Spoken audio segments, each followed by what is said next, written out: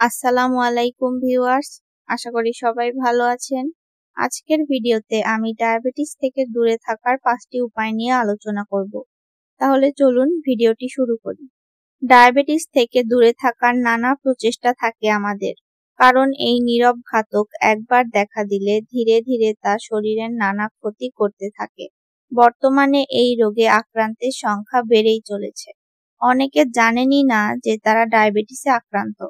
সচেতনতার অভাব এখানে বড় কারণ হিসেবে কাজ করে। আমাদের রক্তে শর্করা বৃদ্ধি পেলে বিভিন্ন অঙ্গের ক্ষতি হয়, বিশেষ করে চোখ, কিডনি, নার্ভ ক্ষতিগ্রস্ত হয়। এই অঙ্গগুলো বিকলও হয়ে যেতে পারে। তাই ডায়াবেটিস থেকে দূরে থাকার সব রকম চেষ্টা করতে হবে। আমাদের কিছু ভুল অভ্যাস শরীরের এই ক্ষতির কারণ হতে পারে। তাই সচেতন থেকে আমাদের জীবনযাপন করতে হবে। এবার চলুন জেনে নেওয়া যাক ডায়াবেটিস থেকে দূরে থাকার উপায়গুলো কি কি। ওজন নিয়ন্ত্রণে রাখতে হবে। ডায়াবেটিস দূরে রাখতে হলে সবার আগে নিয়ন্ত্রণে রাখতে হবে ওজন। কারণ অনেক গবেষণায় উঠে এসেছে, মাত্র সাত শতাংশ ওজন কমিয়ে নিতে পারলেই ডায়াবেটিসের ঝুঁকি কমে অনেকটাই। ওজন কমানোর জন্য খাবারের তালিকায় পরিবর্তন নিয়ে আসার পাশাপাশি শরীর চর্চা করতে হবে। দিনে ত্রিশ মিনিট শরীর চর্চা করলেই মিলবে উপকার। ঘাম ঝরাতে হবে। বর্তমানে বেশিরভাগ মানুষই দীর্ঘ সময় একই জায়গায় বসে থাকার মতো কাজ করেন। শরীরের নড়াচড়া খুব একটা হয় না। পরিশ্রমের কাজ না করাও ডায়াবেটিসের ঝুঁকিতে ফেলতে পারে। তাই ঘাম ঝরাতে হবে। যেটুকু পথ হাঁটা সম্ভব হাঁটতে হবে। দীর্ঘ সময় একই জায়গায় বসে থাকবেন না। পরিশ্রম করে ঘাম ঝরাতে পারলে তা আপনার রক্তে শর্করার মাত্রা কমাতে সাহায্য করবে। ফলে ডায়াবেটিস দূরে রাখা সহজ হবে। নিরামিষ খেতে হবে।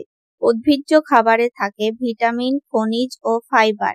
যে কারণে নিরামিষ খাবার খেলে শরীরে নানা উপকার পাওয়া যায়। এ জাতীয় খাবারে থাকা ফাইবার কমিয়ে দেয় রক্তে শর্করার মাত্রা। এটি ওজন বৃদ্ধিতেও বাধা দেয়। তাই নিয়মিত সবজি ফল খেতে হবে। বিভিন্ন গবেষণায় উঠে এসেছে, নিয়মিত উদ্ভিজ্জ খাবার খেলে ওজন কমানো সহজ হয়। সেই সঙ্গে শরীরও পর্যাপ্ত পুষ্টি পায়। উপকারী ফ্যাট খেতে হবে। ফ্যাট মানে ক্ষতিকর নয়। কিছু ফ্যাট আছে যা শরীরের জন্য অত্যন্ত উপকারী। এ ধরনের ফ্যাট ওজন তো কমাই, সেই সঙ্গে বৃদ্ধি করে ইনসুলিন সেন্সিটিভিটি আনস্যাচুরেটেড ফ্যাট যোগ করুন আপনার খাবার তালিকায়। ওমেগা থ্রি ফ্যাটি অ্যাসিডও আপনার উপকার করবে।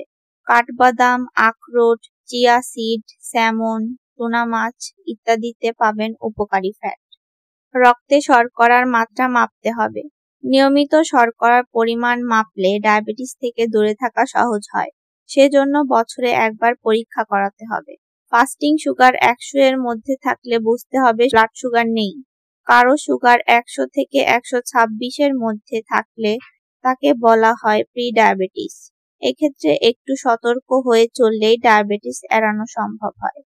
তাহলে এই ছিল আজকের মতো। ভিডিওটি ভালো লাগলে অবশ্যই লাইক কমেন্ট এবং শেয়ার করবেন। তাহলে আজকের মতো এখানেই বিদায় নিচ্ছি। সবাই ভালো থাকবেন। আল্লাহ হাফেজ।